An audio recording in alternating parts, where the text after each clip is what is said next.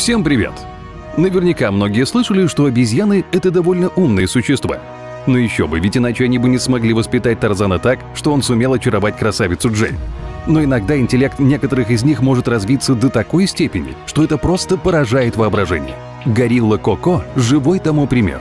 Итак, в сегодняшнем видео мы расскажем вам про удивительную говорящую обезьяну и ее послание человечеству. Поехали!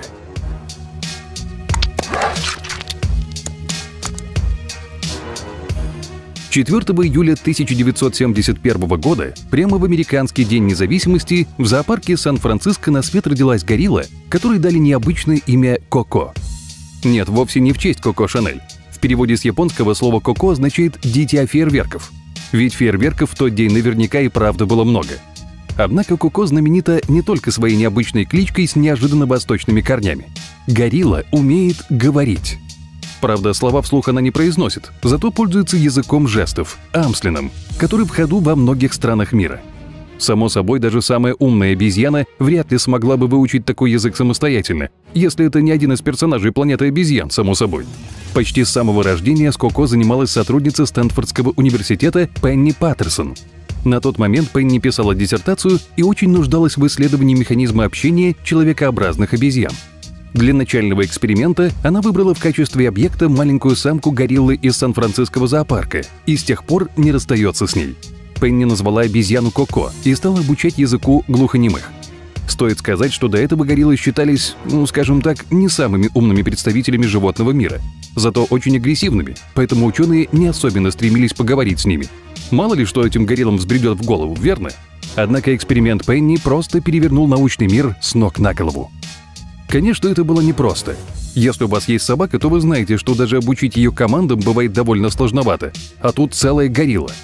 Если бы Пенни учила языку жестов маленького ребенка, она бы сама складывала его руки и пальцы в соответствующие жесты. А вот и нет, совсем не те, о которых вы подумали. Но Коко попросту не позволяла к себе прикасаться, поэтому процесс здорово затянулся. Пенни приходилось показывать горилле предмет, а потом соответствующий ему жест. И так много-много-много раз. Прежде чем кто-то из наших зрителей испугается и успеет пожалеть доктора Паттерсон, сразу скажем, что Коко оказалась очень способной ученицей. Первое, что она продемонстрировала своей учительнице – жест чувства жажды. Один палец касается губ, остальные согнуты.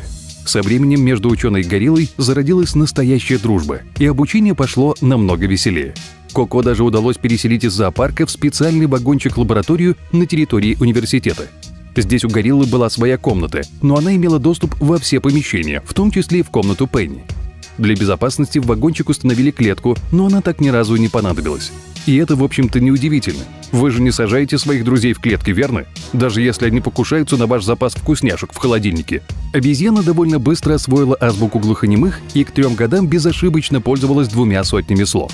Доктор Паттерсон, наблюдавшая за Коко, рассказывает, что горилла научилась хорошо передавать не только значение окружающих предметов, но и самые разные чувства. Например, Коко не любит мыться в ванне, и когда ей показали снимок с изображением другой обезьяны, которую собирались искупать, она сигнализировала «Я там плакать».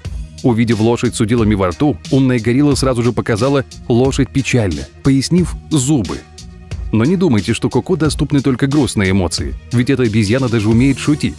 Однажды она даже назвала себя хорошей птичкой, утверждая, что умеет летать, а потом призналась, что это неправда. Согласно до собственного стендап-шоу, Коко еще довольно далеко, но она все-таки горила. Кроме того, по словам специалистов, Коко понимает некоторые абстрактные понятия, а также что такое прошлое, настоящее и будущее. Как настоящий родственник человека, обезьяна проявляет невероятную сообразительность, когда нужно схитрить и избежать наказания за свои шалости. А если она не знает название какого-то предмета, то изобретает свое, соединяя знакомые слова. Например, кольцо, которое носила Пенни, Коко назвала ожерелье палец. Что же это вполне логичное объяснение, ведь кольца в самом деле являются чем-то вроде ожерелья для наших пальцев. Конечно, не обошлось без скептиков и всяких подозрений. Еще в самом начале многие говорили, что доктор Паттерсон всего лишь дрессирует Коко. А в этом нет ничего удивительного. Вон слонов тоже можно выучить разным трюкам. Это же не значит, что они заговорят. Но несмотря на всех неодобрительно настроенных зануд, факты говорят о том, что горилла повторяет жесты совсем не механически. Например, оставаясь в одиночестве, Коко играет со своими куклами и ведет с ними долгие беседы на языке жестов. А теперь представьте себе какого-нибудь тигра, который прыгает через кольца просто так, в свободное от выступления время. Да, нам тоже кажется, что это мало похоже на правду, если дело происходит не в каком-нибудь мультфильме, конечно. А вот Коко несколько раз пыталась общаться на языке жестов даже с другими животными. Но не получив ответа, переключилась на неодушевленные предметы. Они, конечно, тоже оказались не очень разговорчивыми, но похоже, что обезьяна понимает, в чем причина такой молчаливости. Но вам наверняка очень интересно, как вдруг горилла может не только размахивать конечностями и рычать на окружающих, но и научиться самостоятельно разговаривать с собственными игрушками. У доктора Паттерсон есть простой ответ на этот вопрос, ведь во время тестов ее любимица показала уровень IQ, сопоставимый с нормой взрослого человека. А еще Коко умеет рисовать примерно на уровне развития 3-4-летнего малыша и отображает в своих рисунках любимые игрушки и окружающий мир – кстати, у Коко был самый настоящий бойфренд по имени Майкл, крупный горилла-самец. Прежде чем состоялось их знакомство, помощники Пенни обучили кавалера нескольким словам-жестам и предупредили Коко о том, что это хорошая горилла. После, когда обезьяны подружились, они составили первую в мире пару животных, владеющих человеческими средствами общения. И это просто невероятно круто. Причем они использовали язык жестов не только для того, чтобы передавать друг другу какой-нибудь банан, когда Майкл оторвал ногу у куклы Коко, она назвала его грязным плохим туалетом. К сожалению, Майкл не дожил до сегодняшнего дня, не оставив потомства. И нет, нога куклы здесь совсем ни при чем. Но за свою жизнь он тоже успел сделать огромный вклад в науку и даже рассказывал ученым о своем прошлом в дикой природе, детстве и родителях. Нет, погодите еще раз. Обезьяна рассказывает о прошлом. Вау! Интересен и другой случай, когда Коко решила завести себе питомца. На свой день рождения в 1984 году она попросила смотрителей подарить ей кошку. До этого горилла уже проявляла интерес к другим животным, и потому ей принесли несколько бездомных котят на выбор. Внимательно рассмотрев каждого, а некоторых даже пощупав, она решила оставить себе серого котенка без хвоста и назвала его All Ball. Честно сказать, мы понятия не имеем, как ученым удалось выяснить это имя, но на то они и ученые, верно? Коко ухаживала за котенком, как за собственным детенышем, катала на спине и обнимала. Но, к несчастью, в том же году котенок убежал из клетки гориллы, и его сбила машина. Коко очень расстроилась и долгое время рассказывала всем о своих переживаниях. Когда ее спросили, что именно произошло с котенком, она показала «кот спать». А увидев фотографию котенка, похожего на ее питомца, Коко ответила «плакать, грустно, хмуриться, Стойте, стойте, не стоит расстраиваться, ведь у умной гориллы было еще несколько кошек, которых она успела вырастить за свою жизнь. Коко относится к ним с большой теплотой и нежностью, любит обнимать и прижимать к груди. Ну просто мимими. Честно признаемся, поначалу каждый из котят выглядит очень напуганным, но это не удивительно. Представьте, что вас внезапно в руки берет огромная горилла. А, точно, такое уже было в фильмах про Кинг-Конга. Ну, в общем, вы поняли. Сегодня Коко уже 46 лет. Но это совсем не мешает ей с удовольствием играть, листать яркие книжки, обниматься и радоваться простым вещам. Впрочем, горилла отлично чувствует природу, даже находясь среди людей. В своем послании человечеству Коко рассказала о том, что любит нашу планету точно так же, как людей, и ей очень грустно от того, что происходит на Земле в последнее время. Горилла призвала защищать планету и даже сказала «природа следит за вами». Звучит немного угрожающе, но, пожалуй, здесь есть над чем задуматься. Если вам интересно, вы можете найти это видео целиком. За свою жизнь Коко успела стать настолько знаменитой, что даже вдохновила писателя Майкла Крайтона на создание романа «Конго», по которому потом сняли одноименный фильм. Да, там тоже была говорящая горилла, а еще у ленты целых семь номинаций на «Золотую малину». Так что если вам захочется посмотреть какой-то фильм на эту тему, лучше найдите тот, который сняли про саму Коко. Он, конечно, документальный, там нет крутого экшена, джунглей, алмазов и лоры линии, но зато очень много интересной информации. И самой Коко ясное дело. А еще у этой говорящей гориллы есть собственный сайт и канал на Ютубе, который регулярно обновляется. Что ж, осталось дождаться аккаунта в Инстаграме и Твиттере. Между прочим, в этом нет ничего фантастичного, ведь Коко уже умеет обращаться с клавиатурой и распознает многие слова в письменном виде. Друзья, а каких удивительных животных известно вам?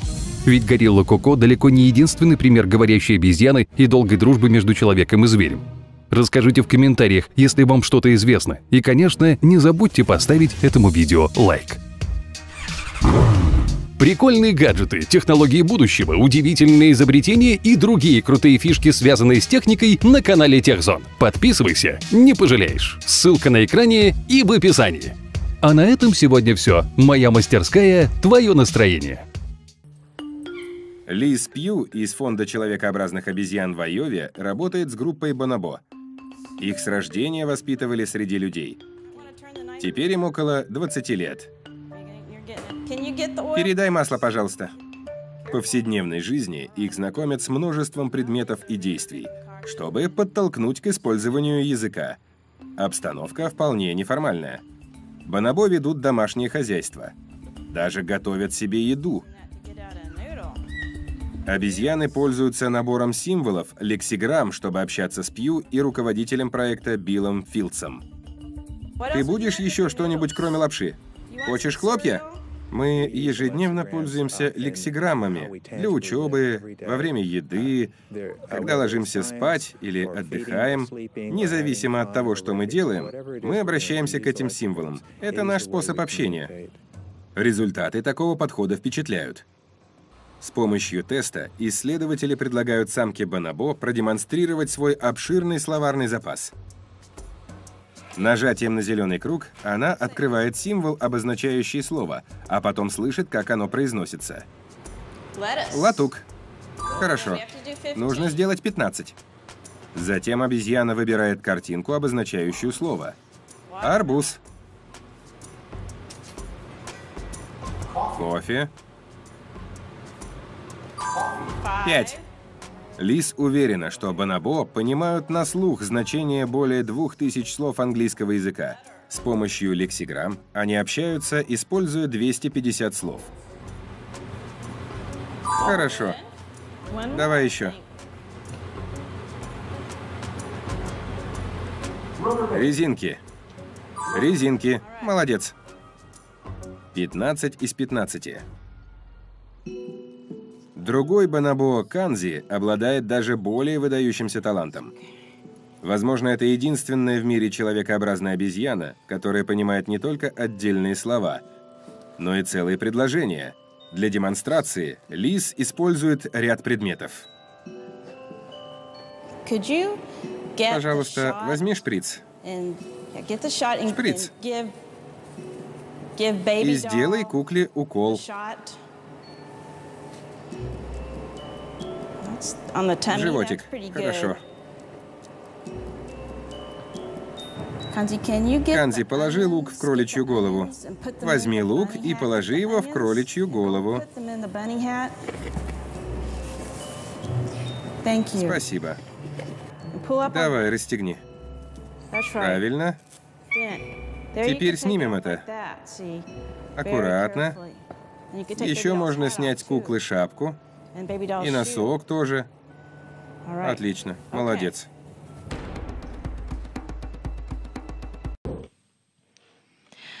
В США умер орангутанг, умевший общаться на языке жестов. Примату по имени Чантек было 39 лет, он страдал от болезни сердца. В 1978 году антропологи из университета Теннесси решили обучить орангутана и узнать, действительно ли только шимпанзе способны выучить язык. В итоге Чантек доказал, что нет, не только. Он освоил около 150 знаков американского языка жестов. Позже его поместили в зоопарк в Атланте, где он активно общался с работниками. Кроме того, Чантек умел убираться в помещении, мастерить инструменты, а также мог показать маршрут от университета до местного фастфуд-ресторана. Чантек был еще и старейшим в мире орангутаном-самцом. В декабре ему исполнилось бы 40 лет.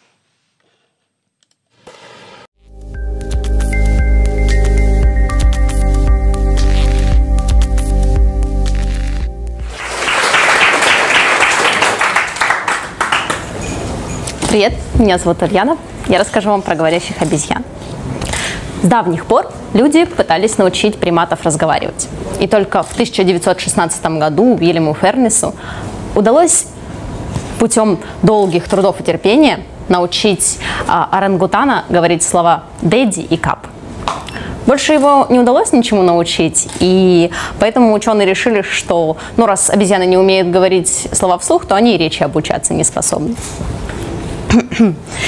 Не могут приматы издавать членораздельные звуки, потому что анатомия их речевого аппарата это не позволяет, и у них недостаточно мозговых структур для волевого контроля над звукопроизводством. И через целых 50 лет, в 1966 году, Алан и Белатриса Гарденеры обратили внимание на то, что приматы общаются между собой жестами. И решили, хм, почему бы тогда не изучать лингвистические способности приматов, обучая их жестам. В итоге они приобрели самку шимпанзе Воша и начали обучать ее языком слен. Амслен – это язык-посредник.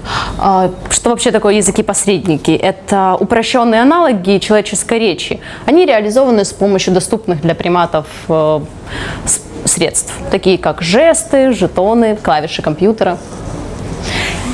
И вот Амслен – это один из трех основных языков-посредников – Вообще, это основной жестовый язык в США и англоговорящей Канаде, но использовали его упрощенную версию для обучения э, приматов.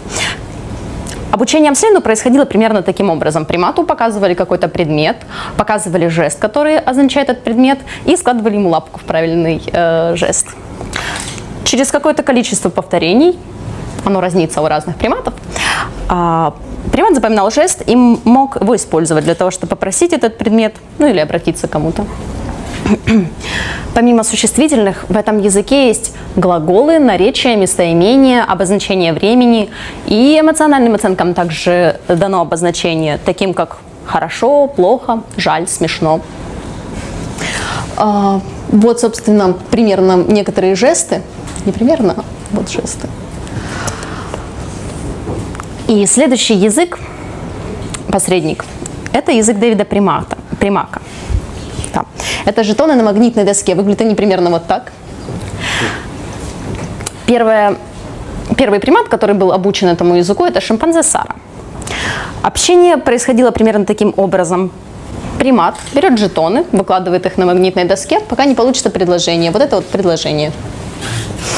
Язык создавался в два этапа, и во время обучения, во время процесса обучения Сары, на первом этапе Примак оперировал символами, символами, которые уже известны были э, Саре. Например, яблоко – это треугольник, а банан – это квадрат. А далее он обучил ее имени своему, ее имени, имени трех ассистентов, которые с ней работали. И уже через некоторое время она обучилась э, всем предметам, которые ее окружали названием всех предметов, которые ее окружали. Также она познакомилась с цветами и даже с сочетаниями всех цветов. На втором этапе Дэвид решил добавить предлог «на» и стал обучать Сару. Для проверки после обучения он составил несколько ничего не значащих предложений, таких как красный на зеленом, коричневый на банане.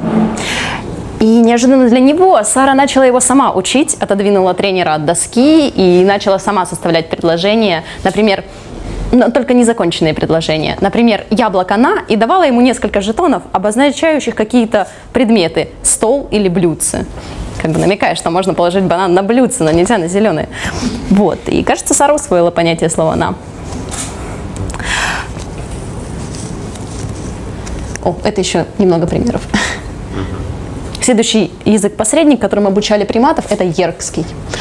Назван он так в честь института, в котором разрабатывался. Э, состоит, в общем, он из небольших геометрических фигур, которые ничего не означают. Ну, они означают предмет какой-то, но сами по себе они ничего не иллюстрируют. Эти фигуры называются лексиграммами. Как происходит общение на этом языке? На внутренней стене помещения, в котором находится примат, имеется клавиатура, на нее нанесены лексиграммы. Когда примат нажимает клавишу, то компьютер произносит вслух слово, которое она выбрала, и проецирует его на экран. Последовательность лексиграмм компьютер считает фразой, если она начинается определенным э, событием и заканчивается точкой. Чтобы начать разговор, э, примат должен э, дернуть ручкой за штангу, укрепленную над клавиатурой. Ну и чтобы закончить фразу, поставить точку. После того, как точка поставлена, компьютер обрабатывает предложение и делает э, вывод Если фраза правильная, то звенит колокольчик, если нет, то лексиграммы исчезают с экрана и нужно начинать набор с самого начала. Шимпанзе Лана, самая первая, которая обучалась этому языку, быстро раскусила всех. И если делала ошибку и понимала это, то она не продолжала э, писать предложение, а просто ставила точку посреди предложения и начинала сначала. Экспериментальное оборудование допускает несколько автоматических ответов. А, шимпанзе может заказать себе поесть или попить. Ну, например, пишет фразу «Пожалуйста, машина, дай мне кусочек банана», и автомат подает лакомство в углубление в стене. Точно так же есть возможность попросить кусочек яблока, изюм, открыть окно, включить фильм.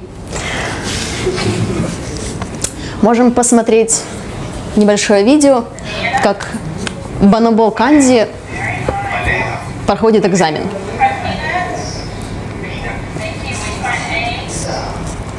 German egg. Good. Can you find milk? Milk? Milk. Good. How about apple? Apple. Very good. How about soup? Soup. Very good. Can you find peanuts? Peanuts.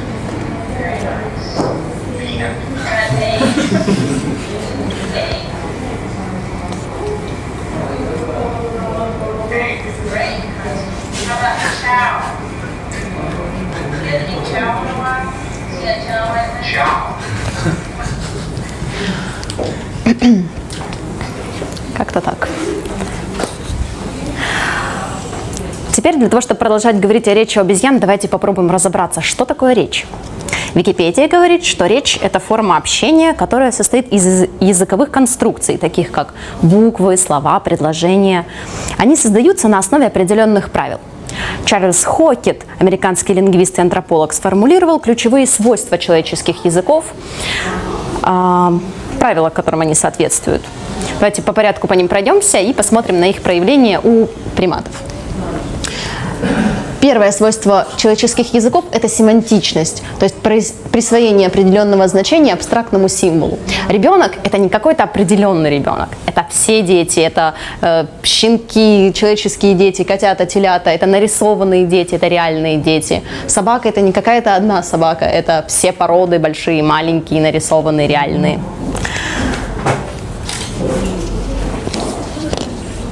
Шимпанзе в экспериментах э, показывали понимание этих метапонятий.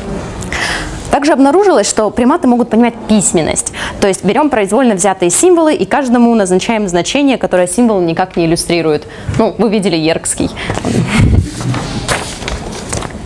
Следующее свойство человеческих языков – продуктивность, то есть комбинирование известных слов в одно новое, если нам неизвестно для него название.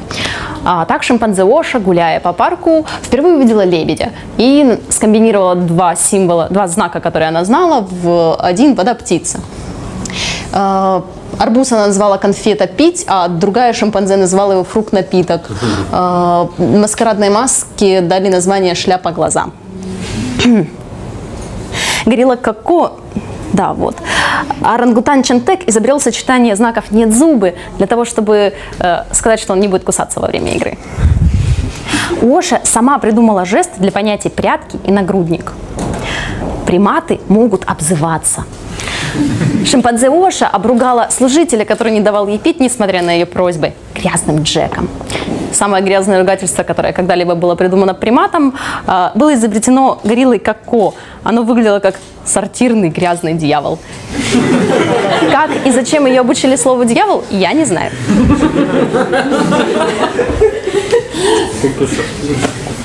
Следующее свойство – перемещаемость. То есть предметы обсуждения могут находиться в другом месте, в другом времени. И эксперименты показали, что приматы могут строить высказывания об отсутствующих объектах, о событиях прошлого и будущего. Например, Банабо Канди, который, с которым мы смотрели видео, обсуждает с помощью клавиатуры с наставницей маршруты своих будущих прогулок. А Горилла Коко рассказала о другом примате Майкле, который безобразничал в отсутствии тренера несколько дней назад. Антропоиды способны овладеть достаточно абстрактными понятиями, например, «еще», «да», нет, страшно. Потом друг понарошку. Также обезьяны могут врать и шутить. Горилла Коко называла себя птичкой и после нескольких недоуменных вопросов экспериментаторов сказала «Коко шутит» и посмеялась. Следующее свойство – культурная преемственность. Способность обучаться у своего вида, передавать знания из поколения в поколение и внутри группы.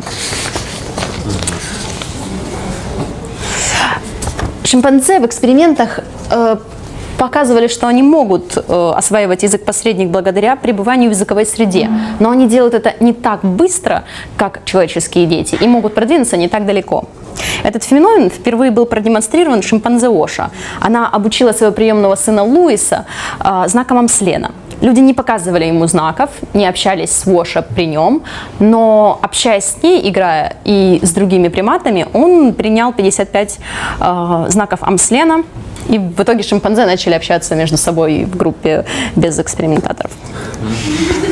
Баноба Канди, с которым мы смотрели видео, вообще изучал ерский язык. Но играя с э, приматами, которые общались на Амслене, он немножечко у них тоже э, принял э, знаков Амслена, в итоге став э, таким себе полиглотом в шимпанзе. Следующее свойство – преднамеренность коммуникации, то есть э, возможность инициировать разговор его тему. Приматы могут целенаправленно просить экспериментаторов об обучении. Например, орангутаны Галины Филиппова, если забывают, как называется предмет, протягивают лапку, чтобы она сложила им э, в правильные жестах.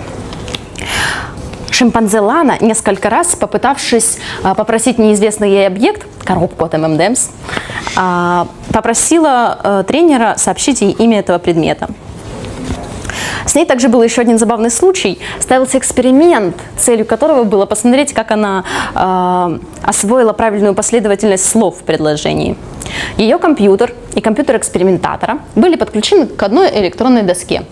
Э, Лана набирала слова в предложение, а Тим, пока она не видела, э, со своего компьютера вставлял туда ошибки. Проверяли, как она будет их исправлять и будет ли. Она поначалу исправляла, но потом она проследила за Тимом, увидела, что он ставит туда ошибки, и вместо своего задания следующего написала на клавиатуре «Тим, пожалуйста, выйди из комнаты». Видеозаписи, сделанные в отсутствии экспериментаторов, показали, что шимпанзе могут вести между собой активные диалоги. Они обсуждают глянцевые журналы, которые им выдали экспериментаторы, они держат их ногами, а руками жестикулируют.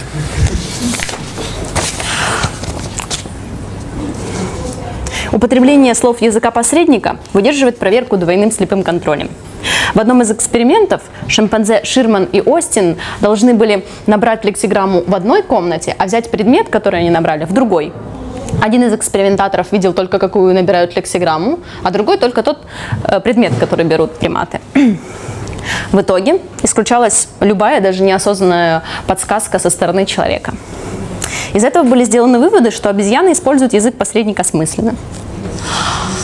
И, наконец, э, я хочу сказать, что я вдохновлялась этими двумя книгами Светлана Бурлак «Происхождение языка» и Франц Деваль «Истоки морали». В них эти вопросы развернуты более широко и в э, разных областях. И вся информация взята либо из них, либо из Википедии. Спасибо.